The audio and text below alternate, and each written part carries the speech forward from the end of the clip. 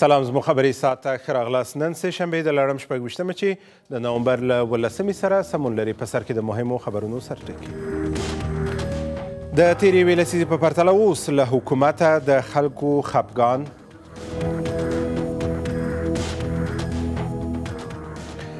د ولسمشر لخوا د کار د رامنځته کولو د لومړي پروګرام پیل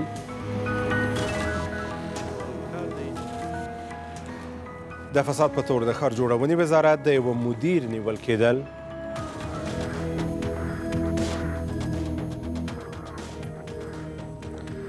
د افغان ځواکونو په لیکو کې د خیالي سرتیرو د شتون ادعا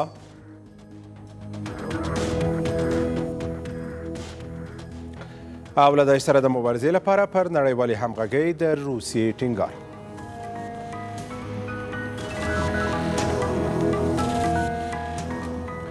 اوس هم پوره خبرونه ویان سمیع الله جلالزی د آسیايي بنسټ یو راپور څرګندوي چې له حکومته د خلکو خپګان په بې ساري ډول زیات شوی دی. په دې راپور کې اووه پنځوس سلنه مرکه شوي کسان وایي چې هیواد ناسم لوري ته روان دی. د دې بنسټ د کلني راپور له مخې راتلونکي ته د خلکو هیله د تیرې یوې لسیزې په پرتله خپلې ټیټې کچې ته رسیدلې ده. پر حکومت د خلکو د باور د کموالي علتونه ناامني، اداري فساد، اقتصادي کمزورتیا او بده حکومتولۍ ښوول شوې ده.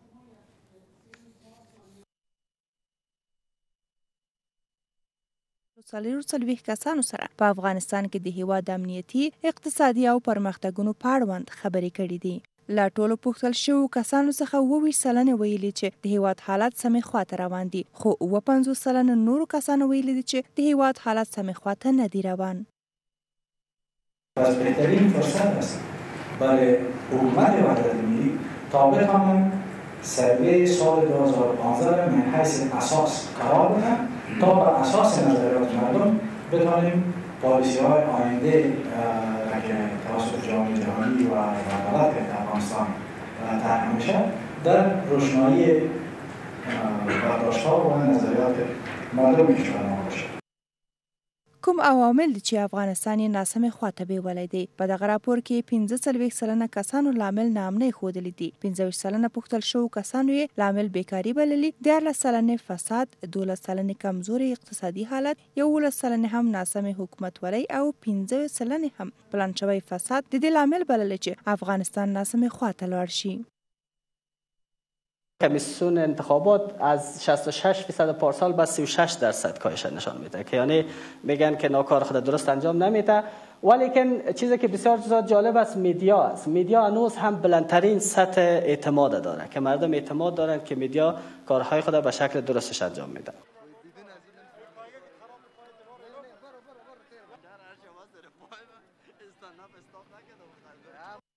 هغه کسانو چې ویلي افغانستان سمې خوا ته روان دی کوم لاملونه یې په ګوته کړي دي؟ دوه دېرش سلنه پوښتل شوي کسان په دې اند دي چې بیا رغونه هیواد کې د دې لامل شوي افغانستان سمې لوري ته ولاړ شي، نهویشت سلنه یې لامل امنیت، لس سلنې زده کړې، لس سلنې هم افغان امنیتي ځواکونه، لس سلنې ښه حکومتولي اته سلنې هم اقتصاد او اووه سلنې هم ولسواکي د هغو عواملو په توګه یاد کړي چې افغانستان یې سمې خوا ته بیولی دی. په دې راپور کې اسیايي بنسټ له خلکو نه د افغانستان لویې ستونزې په اړه پوښتلي دي. بسیار فیصدی بزرگ از پاسخدهندا معتقد هستند که بیکاری بزرگترین مشکل سر رایشان یا در منطقهشان قرار دارد. درې څلوېښت سلنه پوښتل شوو کسانو ناامنۍ لویه ستونزه بللې ده، دا په داسې حال کې چې دا شمېر په دوه زره څوارلسم کال کې څلور دېرش سلنه وه. دوه سلنه پوښتل شوو کسانو د کار نشتوالی لویه ستونزه بللې ده، که څه هم دا شمېر په دوه زره څوارلسم کال کې شپږ ویشت سلنه وه. ناسم اقتصاد هم دیارلس سلنه پوښتل شوو لا انده ستونزې زېږولې دي، په داسې حال کې چې دغه شمېر په دوه زره څوارلس کال کې یوولس سلنه ښودل شوی و. په دې راپور کې بې وزلي، د پوهنې په برخه کې ستونزې او قیمتي هم د پام وړ دي. راپور زیاتوي چې وروسته د ولسمشرۍ له ټاکنو د افغانستان خلک په بد امنیتي او اقتصادي حالت کې ژوند کوي. د پاکستان د پوځ مشر او د امریکا متحد ایالتونو د څارګرې ادارې مشر په د پاکستان او سیمې پر روانو حالاتو خبرې وکړې. راحل شریف وایي د افغان حکومت او وسلوالو طالبانو ترمنځ د سولې د خبرو اترو د بیا پیل وخت را رسېدلی دی. ټاکل شوې ده چې د پاکستان د پاکستان د پوځ مشر راحل شریف امریکا ته په خپل دغه پنځه ورځني سفر کې له امریکایي پوځي مشرانو سره په سیمه کې د ترهګرۍ پر وړاندې د مبارزې پر څرنګوالي هم خبرې وکړې. همدا اوس د امریکا غږ آشنا ټلویزیون همکار ښاغلی ایوب خاورین له واشنګټن څخه موږ سره په کرښه کې دی. غواړو چې واشنګټن یا امریکا متحد ایالتونو ته د راحل شریف د سفر په اړه ډیر جزئیات له ده څخه وغواړو. خاورین صاحب خپرونې ته ښه راغلاست، سلامونه تاسو ته وړاندې کوم. د سلامونو ترڅنګ که مهرباني وکړئ چې متحد ایالتونو ته د راحل شریف د سفر هغه عمده او مهم ټکي زموږ لیدونکو ته بیان کړئ.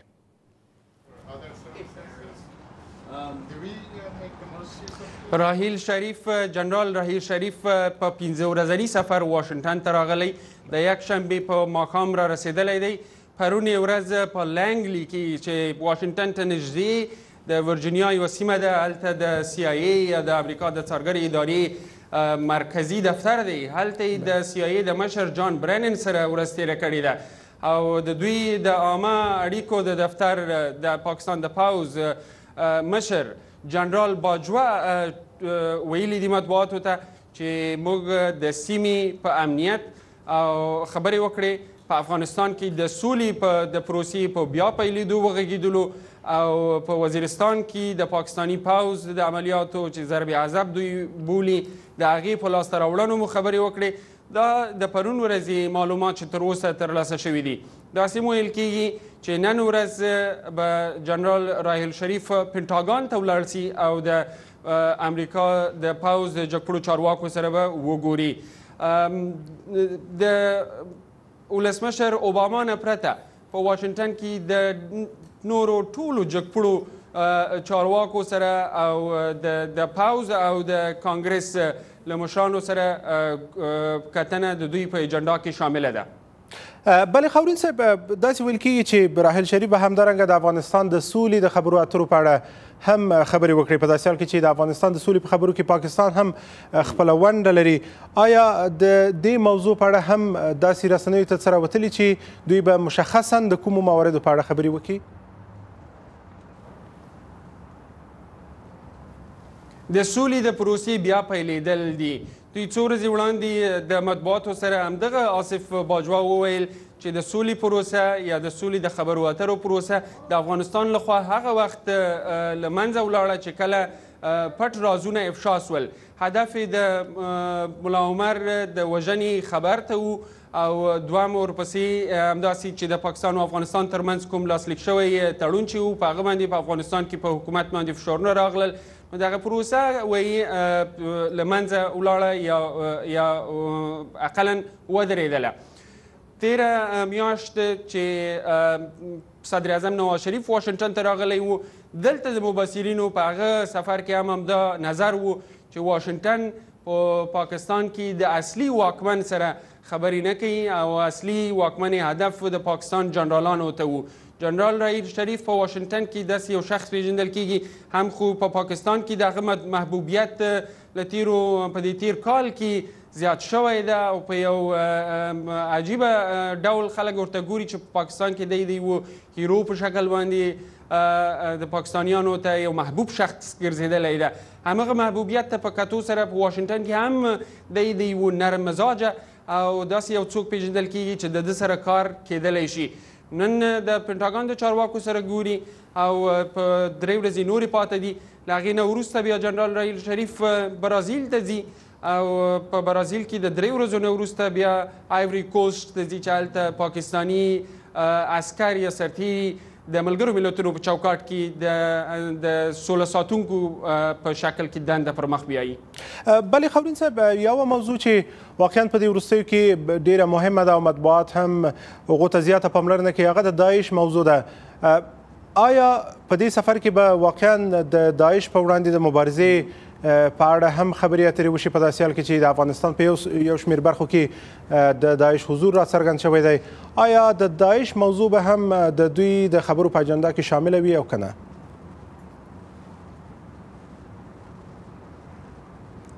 طبعا په پاریس کې د بریدونو نه وروسته د نړۍ ټوله د نړیوالو په لویو هیوادونو او چارواکو توجه همدغه داعش ته اوښتې ده ولسمشر اوباما پرون د خپل پالیسی په شکل وویل چې د ځواکونو لیږل سوریې ته د حل لار نه ده او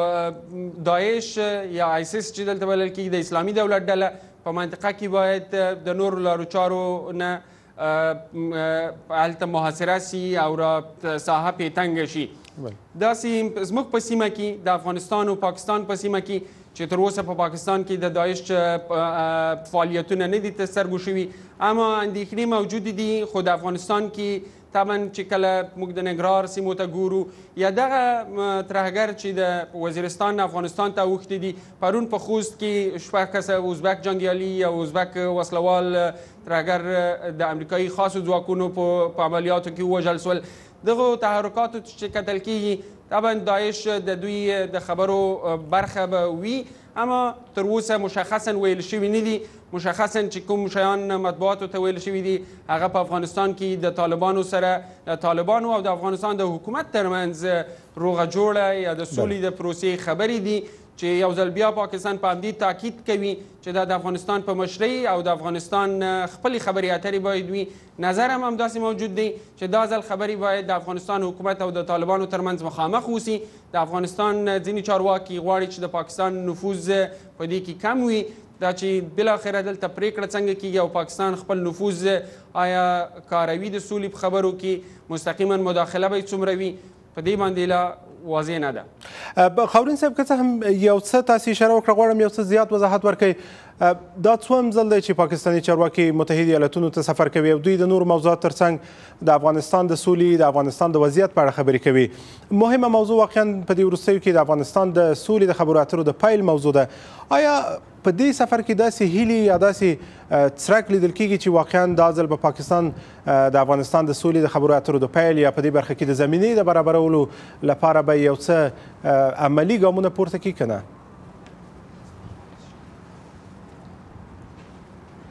مایکل کوګلمن دلته څو شیبې وړاندې موږ ورسره وغږیدلو په واشنگټن کې د پاکستان او افغانستان ډیر دقیق یو څیړونکی دی په ولسن مرکز کې هغه وویل چې خبري اترې بیرته د مغه ځای نه پیلوو چې په 2009 کې نه هم کې مو د پاکستان سره پیل کړی وي یعنی په 2009 هم نه را دی خو په دې تیرو 15 کلونو کې په د پاکستان او متحده ایالاتو په اړیکو کې تغییر نه تر سترګو کیږي نو که چیرته موږ بیا هم د پاکستان سره غږیږو په هغه بخوانیو مواردو کې د پاکستان سره د د متحده ایالاتو اړیکي په ډیرو ساحو کې پراخې دي طبعا د افغانستان موضوع د ایجنډا په سر کې راځي خو دلته نور موضوعات هم دي د پاکستان د پوز امکانات تجهیزات خصوصا د هوایی ځواکونو ځواکونه نه نوي فیصد د متحده ایالاتو لخوا روزنه او یا اکمالات او وسلو اخیستنه د الوتکو ترلاسه کول دا د متحده ایالاتو د پاکستان یو خوانی موضوع ده چې د لسیزو راهیسې ده همداسې څو ورځې وړاندې همدغه راهیل شریف چین ته سفر کړی وو نو په چین کې هم همداسې پذیرایي شوي وو او څو ورځې هلته تېرې کړې وې د چینایي پوځي جنرالانو سره نو د منطقي سیاست هم په نظر کې نیول کېږي دلته د افغانستان لخوا د منطقي سیاست وي په د بدلیدو په حال کې د مختلف قدرتونه ځواکونه قواوي هڅه کوي چې دغه هر څوک خپل چې څومره توان لري په څه شکل سره په دې کې برخه اخلي د سیاست کورودان کورودان د په پاکستان کې تر ټولو ځواکمن شخص خغلی خورین مننه د امریکا غږ آشنا ټلویزیون همکار خغلی ایوب خورین له تاسو ډیر زیاته مننه کور مودان مننه نور خبرونه هم لرو خو تر لږ ځنډ وروسته وړاندې کیږي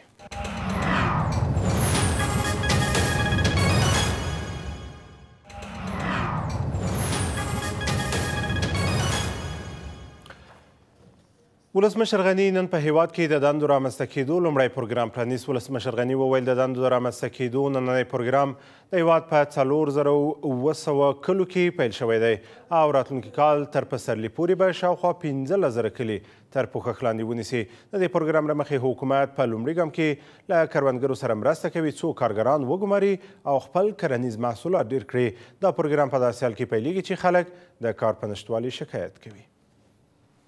ولسمشر غني وایي د بهرنیو ځواکونو وتل او د مرستو کمښت د هیواد پر اقتصادي وضعیت ناوړه اغیزه کړې ده خو د کار د رامنځته کولو لومړنی پروګرام د خلکو دا ستونزه تر یوه بریده اورولی شي دا د ملي یووالي حکومت لومړنی پروګرام دی چې د زرګونه کسانو لپاره د کار زمینه برابروي ولسمشر زیاتوي دا پروګرام په څلور زره اووه سوه کلیو کې پیل شوی او د راتلونکي کال تر پسرلي پورې به پنځلس زره کلي له دغه پروګرامه برخمن شي هدف اصلی پروگرام ملی اشتغالزایی ایجاد زمینه های کار و اشتغال جدید برای مردم است تلاش می شود که در قالب این پروگرام ملی هم برای شهرنشین ها و هم برای روستانشین ها کار ایجاد شود ولسمشر غني وايي، حکومت غواړي له کروندګرو سره مرسته وکړي او په دې پروګرام کې به د زرګونو کسانو لپاره د ښارونو په تنظیف، ودانیزه برخه او د برېښنا د بندونو په جوړولو کې د کار زمینه برابره شي. په کلیو کې غواړو چې د باغونو او کروندو د حاصلاتو د زیاتولو، د اوبو لګولو، د سیستم د ښه کولو او د زراعت د بهتره کولو لپاره زارعینو ته مالي مرستې ورکړو. موږ کولی شو چې خپل حاصلات څو برابره زیات کړو خو دې مقصد ته د رسیدو لپاره یو لوی مشکل دا دی چې موږ کروندګر مو په باغ او پټي باندې خلق استخدامولو لپاره د مصرف کولو پیسې نه لري د کارموندنې د ملي پروګرام یو مقصد دا دی چې دغه زارینو ته پیسې ورکړی شي چې د زراعت او باغداري او اوبو لګولو د بهتري لپاره کار ورباندې وکړي. په دې ډول به هم حاصلات زیات شي او هم به په کلیو کې د کار نوي فرصتونه پیدا شي. دا په داسې حال کې چې د کار او ټولنیزو چارو وزارت د لومړنیو شمیرو له مخې په اوسني وخت کې په هیواد کې څه د پاسه یو میلیون او اته سوه زره د کار په شرایطو برابر کسان وزګار دي. لوی څارنوالۍ د دوو میلیونو افغانیو بډو د اخیستو په تور د ښار جوړونې وزارت یو مدیر نیولی دی خو سرچینې وایي چې د یاد وزارت یو رئیس چې په فساد هم تورن دی په تېښته بریالی شوی دی لوی څارنوالي وایي د ښار جوړونې وزارت د مالی او اداري ریاست یو مدیر د دوو میلیونو افغانیو بډو د اخیستو پر مهال د ملي امنیت د ریاست په مرسته د لوی څارنوالۍ لخوا نیول شوی دی دا ځل د ښار جوړولو وزارت یو بل مدیر د لوی څارنوالۍ لخوا د بډو اخیستو پر مهال ونیول شو لوی څارنوالي وایي د ښار جوړولو وزارت د مالیې او اداري ریاست یو مدیر د دوه میلیونه افغانیو بډو اخیستو پر مهال ونیول شو. به اثر سعی تلاش ریاست کنترل و مراقبت لوی څارنوالی و همکاری ریاست امنیت ملی یک تن از مدیران ریاست مالی و اداری وزارت شهرسازی و مسکن به اخذ دو میلیون افغانی رشوه بالفعل دستگیر گردیدند که موضوع تحت بررسی لویسان والی قرار داره. ویل کېږي چې د دغې ادارې رئیس تښتېدلی خو لوی څارنوالي په دې اړه څه نه وايي. له اداري فساد سره د مبارزې د څارنې او ارزونې ګډه کمېټه په دې اړه داسې نظر لري. ای در حالت است که شش نفر رئیس دیگه وزارت شهرسازی که دوسیه های از اونها از طرف لوی څارنوالی به محاکم روان شده بود اما ظاهرا ای دوسیه ها فعلا دوباره به لوی څارنوالی دوباره روان شده به دلیل ازی که معلومات که ضرورت است کافی نبوده ای خود نشان میته که در حالت موجوده که ما هنوز یک لوی سارنوال نداریم در بیشتر از یک سال گذشته قضایا به شکل درست و جدی پیگیری نمیشه. دا په داسې حال کې ده چې په ښار جوړولو وزارت کې د میلیوني اداري فساد دوسیې چې په هغې کې شپږ رئیسان، دوه برحاله مرستیالان او د دې وزارت پخوانی وزیر تورن پېژندل شوي دي. په اوسني وخت کې دغه دوسیې په لومړنۍ محکمه کې دي او تر اوسه محکمې د هغوی په اړه هېڅ پرېکړه نه ده کړې. د هلمند ولایت چارواکي د دې ولایت د امنیتي ځواکونو په جوړښت کې د زرګونو خیالي سرتېرو د شتون خبر ورکوي. د هلمند له جګړې څخه طلوعنیوز ته نوي رسېدلي سندونه ښيي چې افغان پوځیان د تجهیزاتو او ګړندي ملاتړ له کموالي سره مخ دي او د امنیتي بنسټونو ترمنځ د همغږۍ نشتوالي افغان ځواکونه له ننګونو سره مخ کړي دي. بلخوا د هلمند یو شمېر برخو کې د ښې حکومتولۍ نشتوالی د دې لامل شوی چې د یاد ولایت یو شمېر ولسوالۍ له کلونو راهیسې ناامنه وي. دغه له غوسې ډک پوځي چې په سیمه ییزو پولیسو کې دنده لري، څو ورځې مخکې د مارجې ولسوالۍ د جګړې په لومړۍ لیکه کې فعالیت درلود. هغه او ملګري یې له پراخو ستونزو سر ټکوي. دی ما ته مهمات درله، کمک درلی، بله درله، بله درله. موږ ورسره وجنګېږو، وجنګېږو، وجنګېږو، زموږ مهمات چې خلاص شي، موږ مجبور یو چې یا به ځان په وژنو، یا به پوستې ته سقوط ورکړو، شا ته به وزو. د هلمند په جګړه کې د افغان ځواکونو تر منځ نه همغږي د دوی لپاره ستونزې راولاړوي او کله کله د یو بل له موقعیتونو هم خبر نه وي. ولا تیاره مه یا ها شمار ندارم نه دو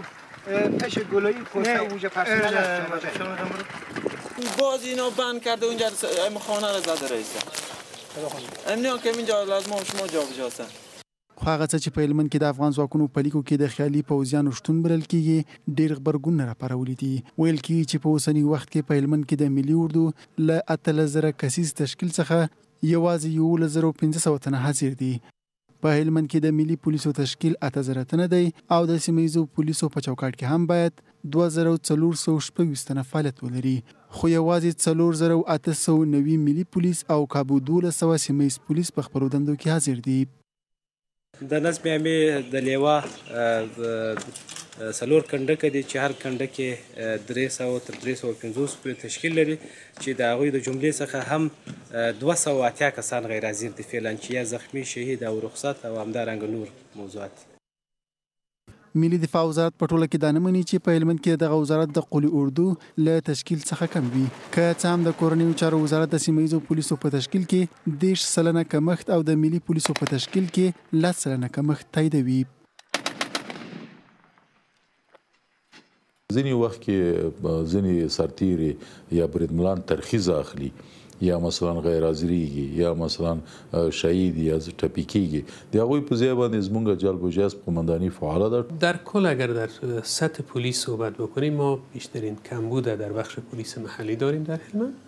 که حدود شاید حدود سی درصد نشان بده اما در پخش پلیس نس ماما و پلیس ملی ما ای رقم بسیار اندک است چند درصد شاید نشد؟ حدود ده درصد له ډیرو کلونو راهیسې هلمند د جګړې په اور کې سوځي داسې ښکاري چې له پوځي لارې د دغه ولایت بشپړ امنیت ناشونی دی لکه څرنګه چې د 2019 میلادي کال په فبروري میاشت کې په مارجه کې پراخ عملیات ترسره شول، خو یو لړ عوامل په تېره بیا له ښي حکومتولۍ د خلکو نارضایتي د دې لامل شوې چې بیا هم په دغه ولسوالۍ کې نا امنۍ پراخې شي. نور خبرونه هم لرو خو تر لږ ځنډ وروسته وړاندې کېږي.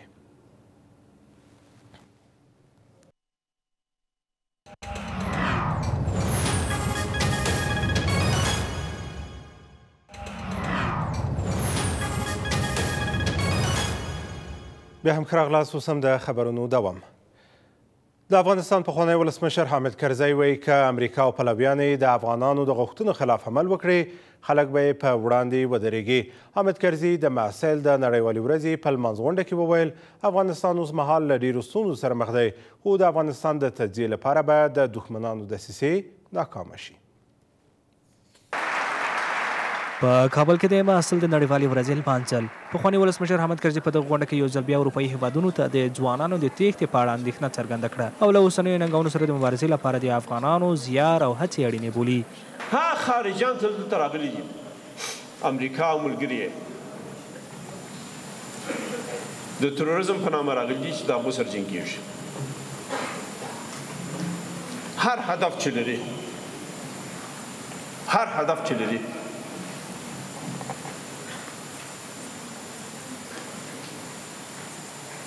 هغه ته دي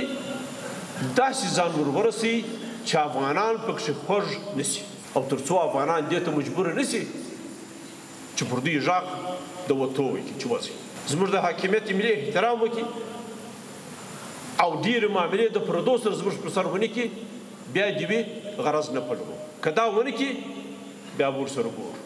ښاغلی کرزی ټینګار کوي، په هېواد کې به اوسنۍ ستونزې زر هوارې شي او همداراز به د افغانستان د تجزیې لپاره د مخالفینو دسیسې ناکامې شي. غمونه راباندې راځي، مشکلات راباندې راځي، خو دا ټول ناکامه کېږي.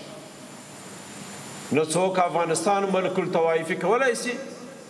نه څوک افغانستان په برخو ویشلای سي نه څوک په افغانستان کي تفرقه اچولای سي په حال کي تاسي فکر مه کوئ بې غمه خپل کار وکړئ. پخوانی ولسمشر د زدکړیالانو، ځوانانو لږوالی او په بېلابېلو برخو کې د مسلکي کارکوونکو نشتوالی په نورو هېوادونو پورې د افغانستان د تړاو یو لامل ګڼي او له افغانانو غواړي اروپايي هېوادونو ته د تلو پر ځای ان په هېواد کې سختو کارونو ته ترجیح ورکړي.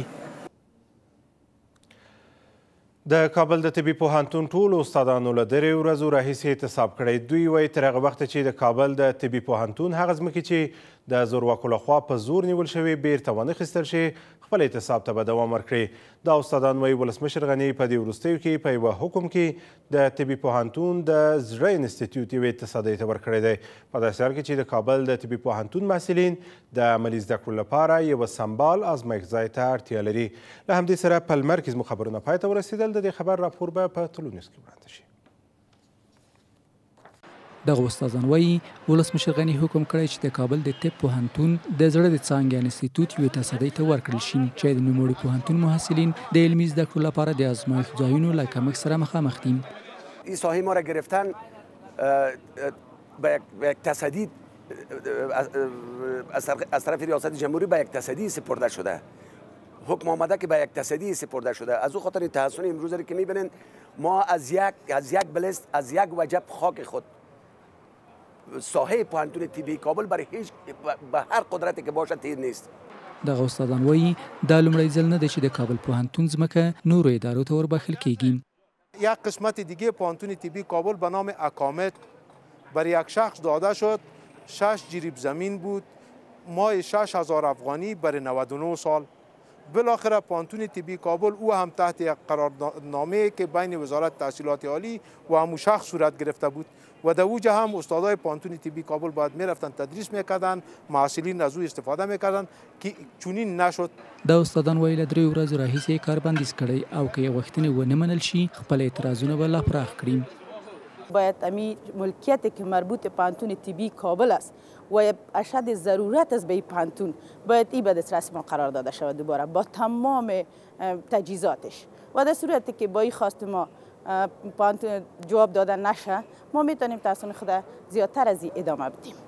د کابل د طب پوهنتون استادان وایي، د دې پوهنتون ودانۍ یوازې د طب د محصلینو لپاره جوړه شوې، خو په دغه ودانۍ کې د شپږو طبي څانګو محصلین د لابراتوارونو له کمښت سره مخامخ دي. په داسې حال کې چې دغه پوهنتون ځمکه نورو ادارو ته ورکول کېږي. په ننګرهار ولایت کې بېلابېلو قومي شوراګانو پر حکومت غږ وکړ چې شته ناامني له منځه یوسي او د وسلوالو له لوري تړل شوي ښوونځي پرانیزي. په جلال آباد ښار کې د څلور ویشتو قومي شوراګانو ترمنځ په ننګرهار کې د امنیت ټینګښت لپاره د همغږۍ غونډه وشوه چې پکې قومي مخورو د ننګرهار پر اوسني وضعیت اندېښنه څرګنده کړه او له حکومته یې وغوښتل چې د وسله والو له لوري دې په دغه ولایت کې تړل شوي ښوونځي پرانیزي. د ننګرهار والي سلیم خان کندوزي هم په یاده غونډه کې د ننګرهار له امنیتي حالته سر وټکوه او ډاډ یې ورکړ چې د قومونو په مرسته به دغه ولایت له داعش او طالبانو پاک کړي. دلته د څلېرشت قومونو مخور په جلال آباد ښار کې سره راټول شوي دغه ننګرهاریان له امنیتي وضعیت څخه اندېښمن دي او له حکومته د نامنیو مخنیوي لپاره اقدام غواړي دغه قومي مشران وایي د ننګرهار په بېلابېلو سیمو کې د داعش وسله والو له لوري ښوونځي تړل شوي چې حکومت یې باید د پرانیستو لپاره هڅې وکړي په ننګرهار کې د میشتو قومونو دا استازي له مرکزي حکومت څخه د سولې پروسې د چټکتیا غوښتونکي هم دي هغه مکتبونه چې هلته بند دي هغې ته داسې د صلح د طریقه د قومي مشرانو د طریقه هغه چا سره وغږیږو چې هغوی دغه مکتبونو د پاره اجازه ورکړي ترڅو خلک لاړ شي ځوانان دغه کلی ماشومان خپل مکتبونو د پاره ننګرهار ولایت کې امن او امنیت نشته مشکلات ډیر زیات ده مکتبونه بند دي دغه ټول ماشومان د درس او تعلیم نه پاتې نامحروم پاتې دي مونږ غواړو چې وروره دا انتفاق او اتحاد د دې قومونو مستجم کو سره یو شو. دولت دا قومونه او دا ولسونه ځان سره نژدې کړل په خپله به دا واټن کمیږي هم به صلح راځي هم به امنیت راځي. خو د ننګرهار د پوهنې ریاست له لوري د ښوونځیو د تړل کېدو شمېر سم دی؟ هغه قومي مشران یې ځواب وايي چې په سیمو کې یې ښوونځي داعشیانو تړلي. چې درې سوه کمو زیات مکتبونه او لېسې یې. درې سوه کمو زیات نو دا ټولې باندې دي بس خلاص دې کې همدا یوه لیسه خلاصه ده دا چین نورې چېرته نورې خو لیسې معلومې لیسې دي مکتبونه دي ښوونځي دي دا ټول تړلي دغه تړلي دا مدرسې تړلي نه مدرسه خلاصه ده نه لیسه خلاصه ده ټول د مخې بند دي ان د کلینیکه پورې زمونږ د مریضانو کلینیک هم بند کړی نو ټول مشکلات دي ولس سره مشکل په ولس په مشکل کا کړ دی د ننګرهار د پوهنې ریاست وايي، د دغه ولایت په دریو ولسوالیو کې د داعش وسله والو اته څلوېښت ښوونځي تړلي چې د پرانیستو لپاره یې هڅې روانې دي. موږ په دریو ولسوالیو کې دا مشکل لرو، نو الحمدلله من حیث مجموع دله وایم په ننګرهار کې نهه سوه دوه بابه ښوونځي لرو چې د هغې جملې نه اته څلوېښت ښوونځي په دغه دریو ولسوالیو کې په مقطعي توګه بند شوي نو ټول فعال دي د ننګرهار د خلکو په مخ باندې چاته اړین دي نو دا خو تاسو تاسو پوهیږي چې دا خونځې د نایښت خوانه څه شي نه نه ته راغلی و دا صحیح چې انغالین کړی وي پس لا خلک کاندید کړی دي مننه دا خونځې دا غوینه خونه تړل شوی وي د ننګرهار والي هم په دغه غونډه کې په ننګرهار کې د داعش او طالبانو له لوري د روانو کړنو چې ښوونځي او مدرسې تړي اندېښنه وښوده او د دې حالات په کابو کولو کې د قومونو رول مهم وباله ننګرهار کې زمونږ ولسونه ځوري زمونږ مکتبونه بندي زمونږ شفاخانه نه پریدي زمونږ پلونه الوزي سرکونه خرابوي او دا لاسکه چې مشران ملالي علماء کرام ملالوي ځوانان وژني سربازان وژني په ننګرهار کې ټول ټال نه سوه ښوونځي دي چې ویل کېږي په لرې پرتو سیمو کې اوس د ښوونځیو ودانۍ تشې پاتې دي او د جګړو له کبله څلېرویشت زره کورنیو سیمې پرېښودي چې ورسره د ښوونځیو دروازې هم بندې شوي د هلمند له جګړې څخه د طلوع نیوز راپور څرګندوي چې یو شمېر افغان پوځیان وایي طالبانو د افغان بنسټونو معلوماتي بانک ته لاسرسی موندلی دی د یو شمېر سرتیرو په وینا د دوی یو شمېر همکاران کله چې د کورونو په لور روان وو د طالبانو لخوا ونیول شول او مخالفینو له بایومتریک یا د ګوتو د نښو تر معلومولو وروسته دوی وپېژندل، خو د کورنیو چارو وزارت د دې څرګندونو په ردولو سره د دغو معلوماتو په خوندي پاتې کېدو ټینګار کوي. ډېرې لارې چې د جګړې سیمو ته ورغلي، له خطره خالي نه دي. له همدې امله افغان پوځیان ترجیح ورکوي چې په موټرونو کې په شخصي جامو کې تګ راتګ وکړي. آن ویل کېږي چې یو شمېر یې د جګړې په ډګرونو کې هم تر پوځي جامو لاندې ملکي جامې اغوندي. له بلې خوا دا ادعا مطرح ده چې مخالفین پرمختللو وسلو او آن یو شمېر نویو ټکنالوژیو ته لاسرسی لري.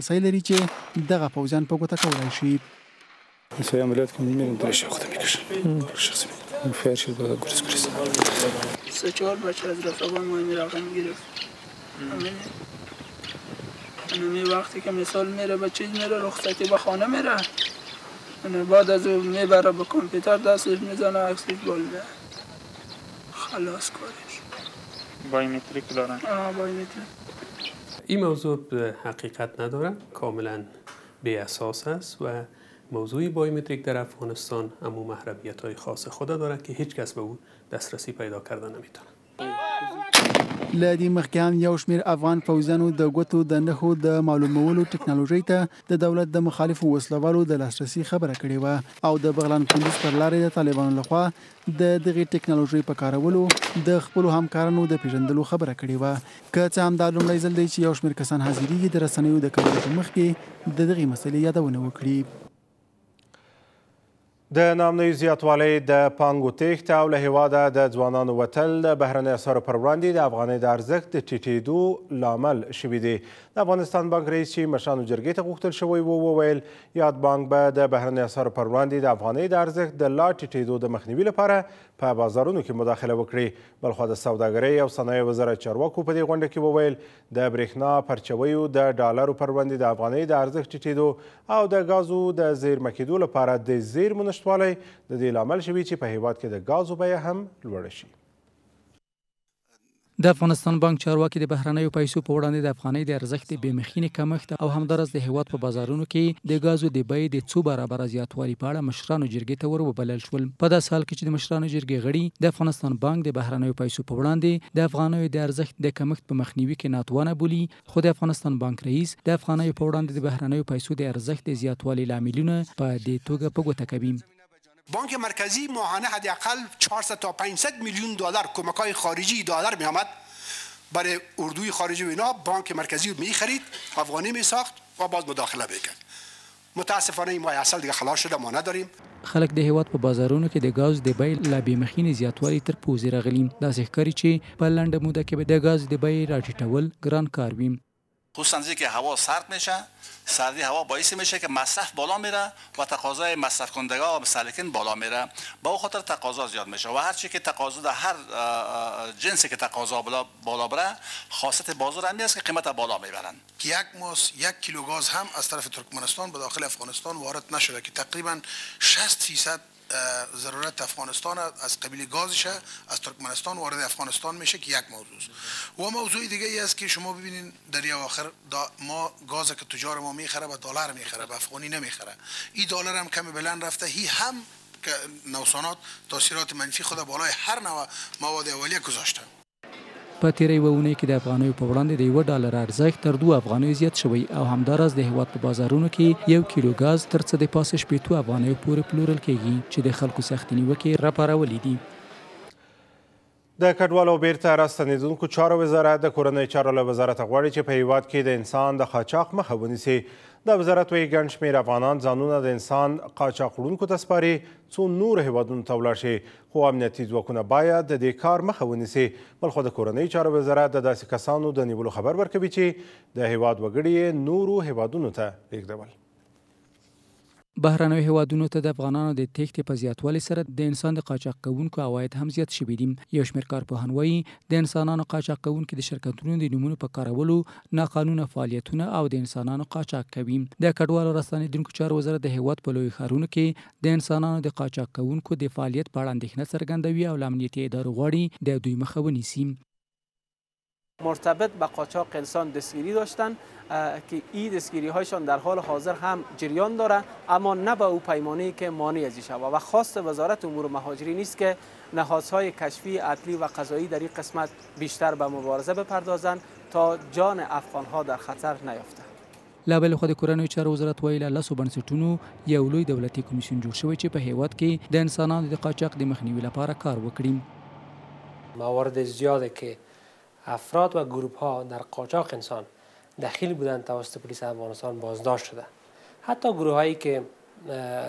افغانها را به هر نام یا به نامهای مختلف به بهانههای مختلف غیر قانونی از افغانستان بیرون میکردند به کشورهای همسایه یا کشورهای دیگر اینا مورد پیگرد قرار گرفتن. یو شمېر کارپوهان په دې باور دي چې په هېواد کې د دولتي ادارو او سفارتونو کارکوونکي چې د انسانانو په قاچاق کې لاس لري، د ویزې په اخیستو کې مرسته کوي. فعلا بازار امروزی بهترین بزنس بهترین تجارت در افغانستان امروز بازار ویزه هست ویزای غیر قانونی. کارپوهان وايي، د انسانانو د قاچاقکوونکو په وړاندې د حکومت بې پامۍ دوی سپین سترګي کړي، تر څو خپل فعالیتونه پراخ کړي. دغه کارپوهان د افغانانو د تېښتې زیاتوالی هم د انسان د قاچاقکوونکو د تبلیغ له امله ګڼي.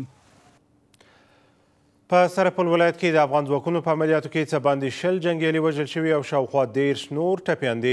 د سرپل پولیس وایي دا عملیات له څو ورځو راهیسې د شرم له کلو څخه د مخالفینو د شړلو لپاره پیل شوي دي. د سرپل امنیه قومندان وایي په دې عملیاتو کې د سرتخته کلی چې د مخالفینو یو مهم مرکز و هم د افغان ځواکونو لخوا نیول شوی دی.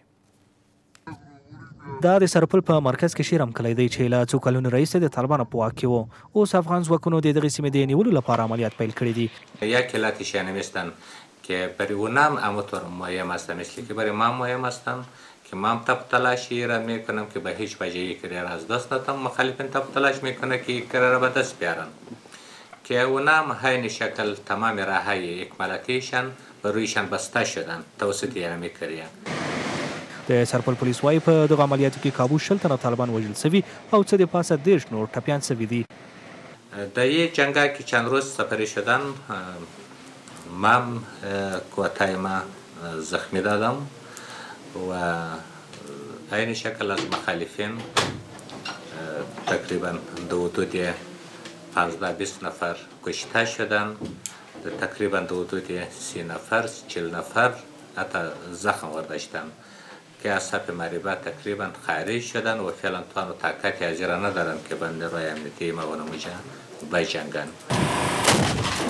ښاغلی باقي زوی وایي چې په دغه عملیاتو کې سر تخته کلی هم چې په تېرو څو کلونو کې د طالبانو په واک کې و، د افغان ځواکونو لاسته ورغلی دی. یک نفر که سرګروپ به نام نیاز محمد هستند که او نیاز محمد در بین کشته شدگان همو شک و فاحشه است. د سرپل د امنیې قومندان وايي، په دغو عملیاتو کې دوه تنه د ولسي پاڅون غړي هم وژل شوي دي او دوه تنه پولیس ټپیان شوي دي. د کورني خبرونه تر لږ ځنډ وروسته به بهرني خبرونه وړاندې شي.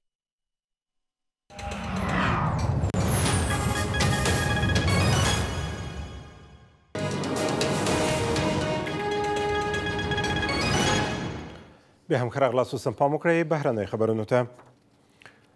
د روسي ولسمشر له دای سره د نړیوالي مبارزې غوښتنه کړې ده ولادیمیر پوتین د نړۍ په پیاوړو هیوادونو سخته نیوکه کوي او وایي چې په سوریه کې د داعش د لمنځه وړلو په کار کې له روسیې سره همکاري نه کوي. نوموړی وایي د داعش د ماتې لپاره د نړۍ ټول هېوادونه باید سره یو موټي شي. بلخوا د امریکا متحد ایالتونو ولسمشر بارک اوباما وایي هېواد به هیڅ وخت خپل ځمکني ځواکونه عراق او سوریې ته ونه لیږي.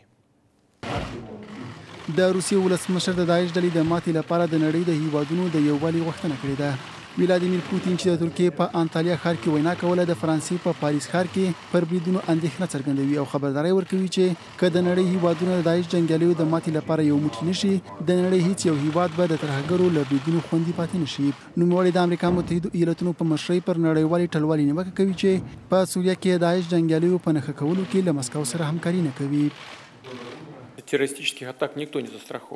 هیڅ یو هیواد به د ترهګرو له بریدونو خوندي نه وي. تجربو موږ ته ښودلې ده چې هغه مهال موږ کولای شو په اغېزمنه توګه له ترهګرۍ سره مبارزې ته دوام ورکړو چې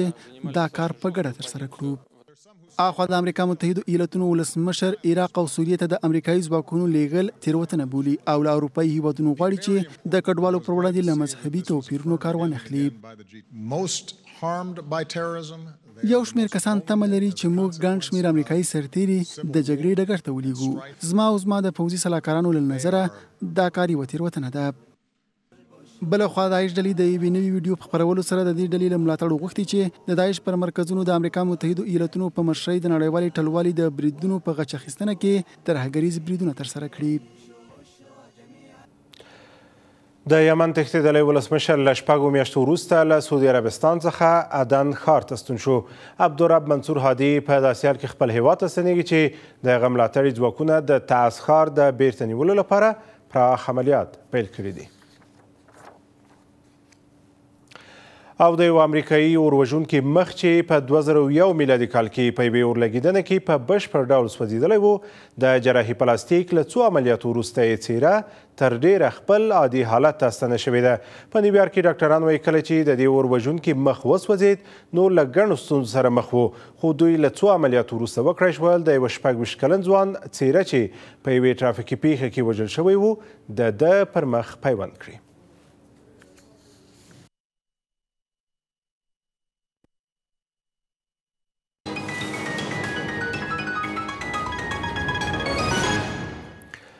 نه هم اقتصادي خبرونه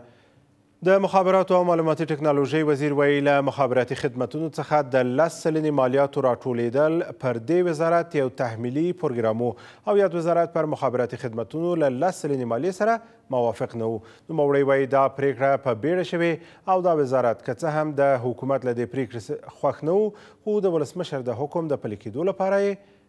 پلې کړه. د مخابراتو او معلوماتي ټکنالوژۍ وزیر د مخابراتي خدمتونو د مالیاتو پر راټولولو نیوکو ته په پام سره په دغه پروګرام کې بیړه د مالیې وزارت پر غاړه اچوي او وايي چې د دغه پروګرام د عملي کولو لپاره د دغه وزارت د چمتووالي له نه لرلو سره سره اړ شول پر مخابراتي خدمتونو د لګول شوې لس سلنې مالیې د راټولولو بهیر پیل کړي. در واقع این یک بار تحمیلی بالای ما بود. ما در نخست با این موضوع موافقه نداشتیم. وزارت مالیه با ما هماهنگی های لازم را در قسمت در شروع نداشت اما در وقتی که فرمان تخنیدی مقام محترم ریاست جمهوری به ما مواصلت ورزید ما من حیث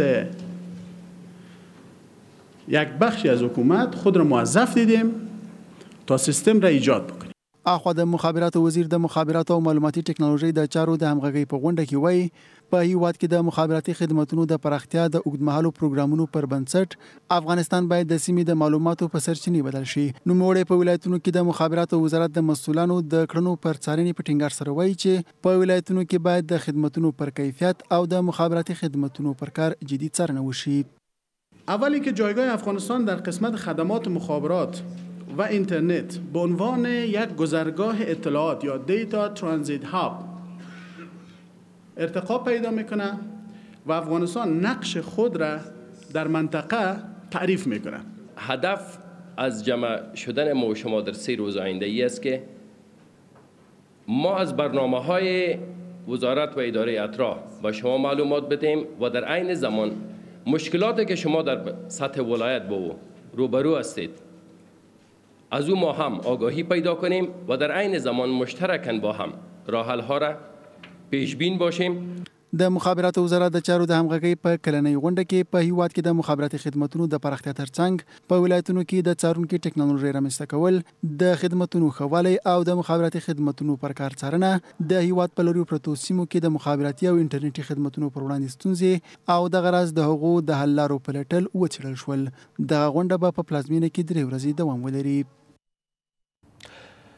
د جمعه محمد محمدي صنعتي پارک د دویمې برخې د بنسټونو د جوړېدو کار پیل شو له پانګونو د ملاتړ د ادارې چارواکي وایي د دې پارک دویمه برخه د نولسو فابریکو د جوړېدو لپاره طرح شوې ده او د دې برخې د بنسټونو د جوړېدو لپاره به یو سلو پنځه میلیونه ډالره پانګونه وشي بلخوا د ولسمشر اقتصادي سلاکار که څه هم د ځمکې نشتوالی د پانګوالو پر وړاندې لویه ننګونه بولي خو وايي حکومت هڅه کوي په هېواد کې پانګوالو ته ډېرې اسانتیاوې رامنځته کړي. په پنځه پنځوس جریبه ځمکه کې د جمعه محمدي د صنعتي پارکونو د دویمې برخې بنسټیز کار پیل شو او ټاکل شوې ده چې د صنعتي پارک په دې برخه کې د خوراکي توکو،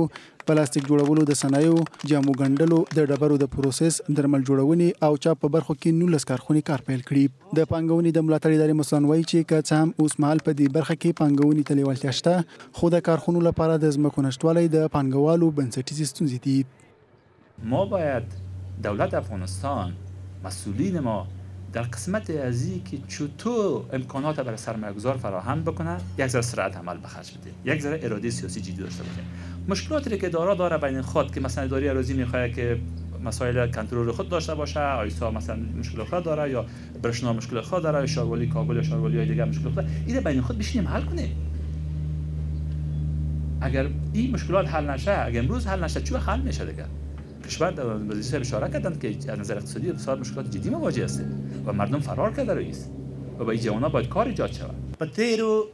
پنځلسو کلونو کې لکه ما مخکې چې وویل د موږ د کمریو پارک و هغه غصب شو موږ به نه شوای کولای چې په هغه کې تقریبا داسې دقیق ارقام موجود وي چې یو نیم میلیارد ډالره سرمایه په دې ځای کې باید جذب شوې وای د درې زرو فابریکو نه زیات باید هلته ایجاد شوې وای خو له بده مرغه هغه چور شوه او تر اوسه پورې صنعتکارانو ته یې مځکه په اختیار کې ورنه کړل شوه د پرزې پارک همداغسې او نور ځنې پارکونه چې وو په هرات کې همداسې پرابلمونه موږ لرو. بله خوا د ولسمشر اقتصادي سلاکار وايي چې په افغانستان کې د ځمکو یوه لویه برخه د زورواکو له خوا غصب شوې ده خو لا هم ټینګار کوي چې د پانګونې له پاره ډېرې ځمکې شته چې د هغو په غوره مدیریت سره به د ځمکو د کموالي ستونزه اواره شي. د پانګونې په مقابل کې خنډ نه شي، خنډونه لا زیات دي، ځمکه لا ستونزمنه مساله ده، په افغانستان کې ما پخوا هم ویلي وو، تکراروم یې، د هر بل څه لپاره ځمکه پیدا کېږي، د غصب لپاره ځمکه کمه نه ده، مګر د پانګوال لپاره نه شته، زه په دې نظر یم چې یو څوک راځي او په افغانستان کې فابریکه جوړوي، نور سهولتونه موږ نه لرو، ځمکه نه باید چې موضوع اوسي، یو څوک یو میلیون ډالر راوړي، ځمکه نه باید چې لویه موضوع وشي، نه باید چې ستونزمنه وشي. د یادونې وړ ده چې د جمعه محمد محمدي د صنعتي پارک د دویمې برخې په جوړېدو او د کارخونو په جوړېدو سره به په دې برخه کې څه باندې شپږ سوه تنو ته په مستقیم ډول او څه باندې درې زرو تنو نورو ته به په غیر مستقیمه توګه کاري فرصتونه برابر کړي. او دا هم د کابل په بازارونو کې د یو شمېر بهرنیو سره په وړاندې د افغانۍ پېر بیه.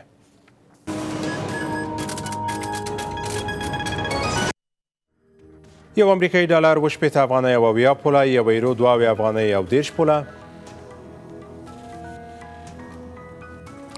د اماراتو یو درهم اتلس افغانۍ او څلوېښت پوله زر هندۍ روپۍ یو زرو دېرش افغانۍ زر ایراني تومنه اتلس افغانۍ او شپېته پوله او زر پاکستانۍ روپۍ په شپږ سوه یو دېرش افغانۍ بدلېدې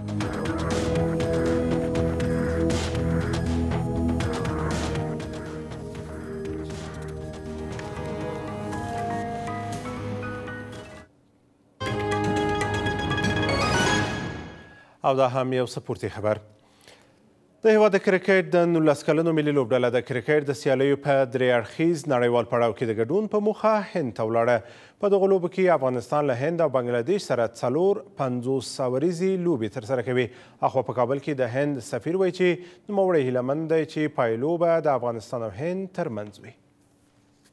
دا لومړی ځل دی چې د هیواد د کرکټ د نولس کلنو ملي لوبډله له هغو دریو هیوادونو سره سیالي کوي چې د کرکټ د نړیوالې شورا دایمي غړیتوب لري. د هیواد کرکټ بورډ ټینګار کوي چې اوس مهال افغانستان د نړۍ د کرکټ د لسو غوره لوبډلو ترڅنګ ولاړ دی او دا بنسټ هڅه کوي څو د کرکټ شورا د دایمي غړیتوب له لرونکو هیوادونو سره نورې لوبې هم ترسره کړي. په لومړي ځل باندې د یو دوه فل ممبرو سره ټرینګولر سیریز جوړیږي د نولس کلنو ځوانانو لپاره دا یو نوی تاریخ دی شاید تر اوسه پورې یعنی دا به راوځي وروسته میډیا کې به راوځي شاید تر اوسه پورې یو اسوسییټ ممبر هم د دوه فل ممبرو په انډر 19 ټرینګولر سیریز کې تر اوسه پورې لوبه نه وي کړې اخوا په کابل کې د هند سفیر ژمنه کوي چې هیواد به د افغانستان د کرکټ د ملي لوبډلې لپاره د استوګنې او د کرکټ د غوره لوبغالو لارې اوارې کړي. سفر هندوستان دارند و اونجا در تورنمنت کرکت که اشتراک میکنند من آرزوی موفقیت شما داریم خوب بازی کنید انشاءالله پیروز هم میشوید و دیگر آرزوی این است که فاینل بین شما و هندوستان باشد د دریو هیوادونو ترمنځ دغه سیالي د رواني اونۍ د جمعې په ورځ پیلېږي او لس ورځې به دوام ولري په دغو سیالیو کې افغانستان د هند او بنګلادیش پر وړاندې دوه دوه پنځوس اوریزې لوبې ترسره کوي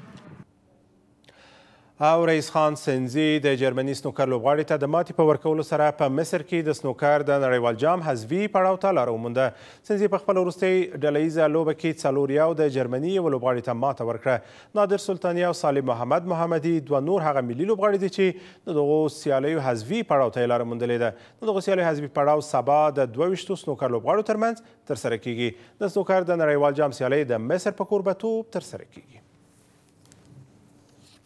له همدې سپورتي خبرونو سره زموږ د نن شپې خبري ساعت هم پای ته رسیږي ستاسو له پاملرنې مننه کوم